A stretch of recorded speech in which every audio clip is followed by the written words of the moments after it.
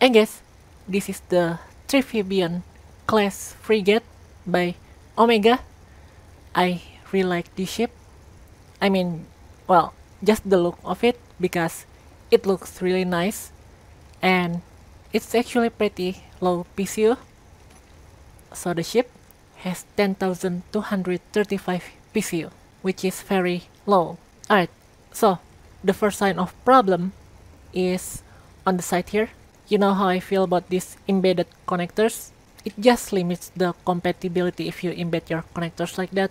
And in terms of armament, we have two assault cannon turrets, two Gatling turrets, and two missile turrets. No. That is not great at all, even for a 10,000 PCU ship.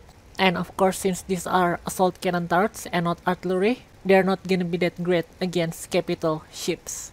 But the bigger problem is that they use missile turrets, which are not that great, especially after Warfare 2. And they have these rocket pods over here. I mean, rocket launchers.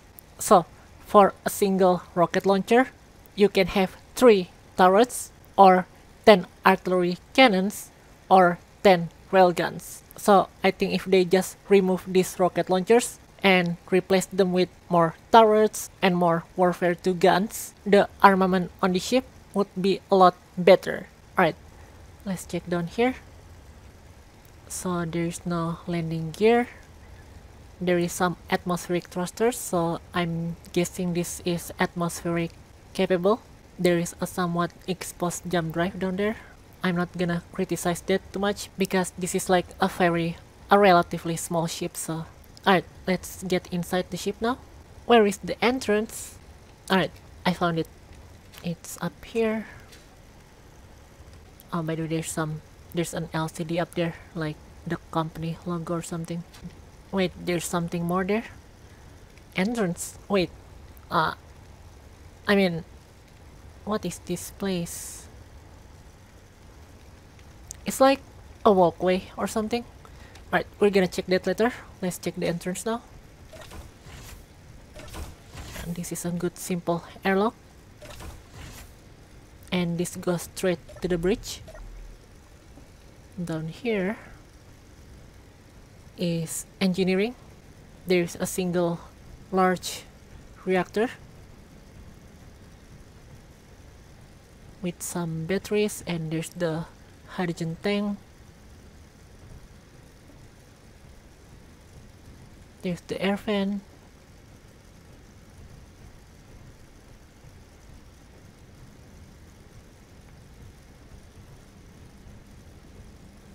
Alright, there's more airlocks here.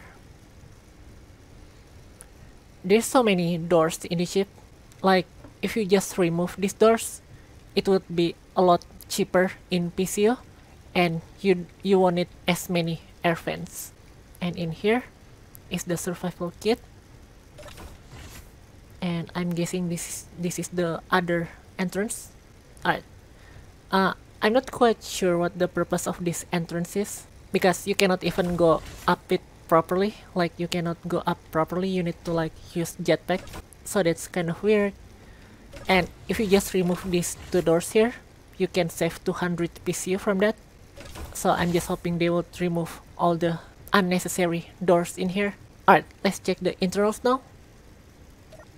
The ship doesn't have any refinery and it doesn't have any assembler. So a ship this size should have at least a full-size refinery and a full-size assembler. And I guess even if you don't want those, you can still have at least the basic assembler and refinery. That would make this ship a lot more versatile. There's some batteries. I think they need more batteries. Alright, so the ship has the classic symptoms of having too many reactors while not having too many batteries. That's kind of inefficient and not to mention not that cost effective as well. You will be a lot better just having a lot of batteries with some reactors instead of having too many reactors and too little batteries. There's oxygen tank. There's only a single uh, hydrogen tank. I mean, I guess since the ship has atmospheric thrusters, it won't be that bad. But that does mean the hydrogen capability of the ship is not that great. There's only 4 gyroscopes, so that's great. There's no solar panels, no hydrogen engine. Alright, so the ship won't be doing great at all in combat and there's so many conveyors there in the, instead of functional blocks. I feel like this ship would be a lot better with some proper optimization. Alright, let's see how it flies now. So in terms of flight characteristic, it's somewhat heavy, but this is very acceptable for me because if you have ever flown my ship, you know they are quite heavy, but they are fast enough to maneuver, and this feels a lot like my ship, so it's fine. Alright, let's fly this in atmosphere now. Alright, so it's able to fly in atmosphere just fine. Let's turn off the hydrogen and thrusters now and see if it still flies. So, even without the hydrogen thrusters, it will still be able to fly in atmosphere. Which is a good thing for the ship because it doesn't have that much hydrogen fuel. Oh, the ship weighs 1.5 kilotons by the way. Alright, so obviously the ship needs a lot, uh, a lot of optimization and some rebalancing in terms of the weaponries because at its current state right now, the ship will not last long at all in combat or survival. Like, you will be outranged by your enemies if they have artillery cannons or railguns, and you'll run out of fuel very quickly, and there's no production on the ship other than the survival kit. So those are the things that can be improved on the ship. Oh, let's see if there... Oh, the ship has three jump drives. I mean, I guess that's useful if you want to go places quickly, but for what the ship has, I feel like 3 jump drives is a bit of an overkill. So those are my thoughts about the ship. Alright, let's crash the ship now. Here it goes. I'm gonna crash it on that uh, open field over there. Uh, visibility is nice by the way, it's decent. Alright, here it goes. Uh, oof.